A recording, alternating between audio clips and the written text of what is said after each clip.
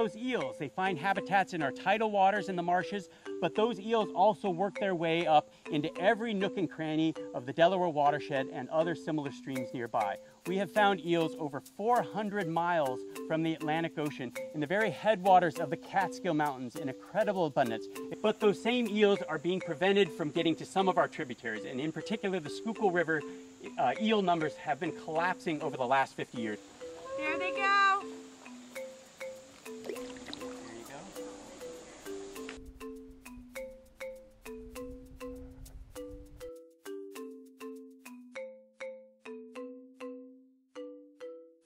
Yeah, the these guys dominate the ecology. They're omnivores. They'll eat anything and everything in the stream. They'll eat fish eggs. Uh, they'll eat other insects and vertebrates, the food for trout. They are almost a dead end. Particularly these really large crayfish um, become inaccessible to any of the other fish or animals living in the aquatic environment, right? And so, so all the energy is held there.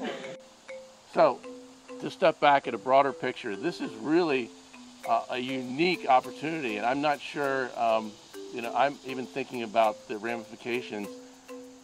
There has not been an attempt in Pennsylvania to eradicate exotic crayfish. There have been very few worldwide. I'm not sure if there's ever been one in flowing waters. So this is truly a landmark day.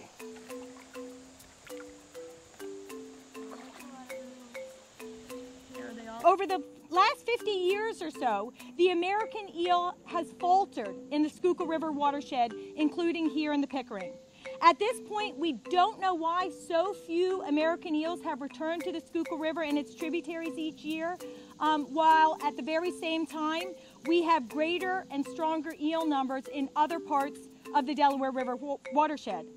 The Delaware Riverkeeper Network and our partners are trying to figure this out and figure out what we need to do to support a healthy return of the American eel to the Schuylkill River and to its tributaries.